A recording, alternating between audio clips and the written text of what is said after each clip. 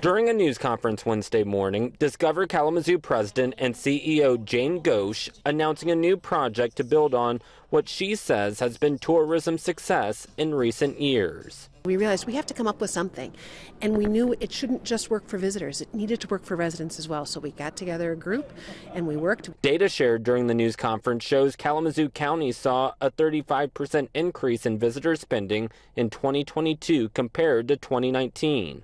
That ranks number one for all counties that made at least $150 million in visitor revenue.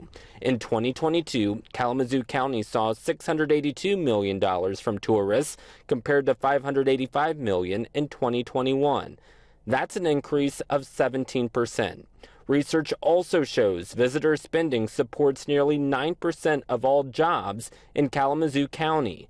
County and state leaders are getting involved too. West Michigan is a critical partner, of course. It's a group project to grow the state, um, and West Michigan has been growing. Kalamazoo is also really innovative. People from Chicago or people from you know the local region, South Bend, Indiana, oh, Kalamazoo, it's a great secret. It's a great place to go for a day and spend a night. But I think as more and more and more people start to be aware of this, and then with this advertising campaign as well, uh, the secret's out, and I think people are going to start enjoying uh, coming to Kalamazoo. During the event, organizers unveiling new social media ads. Get a fresh view in Kalamazoo. They even showed off new commercials. The target audience are adults within a four hour drive of Kalamazoo visitors coming to Kalamazoo County, the ultimate beneficiaries of that are Kalamazoo County residents because it sustains the restaurants that you love, the events that you love, maybe the theaters.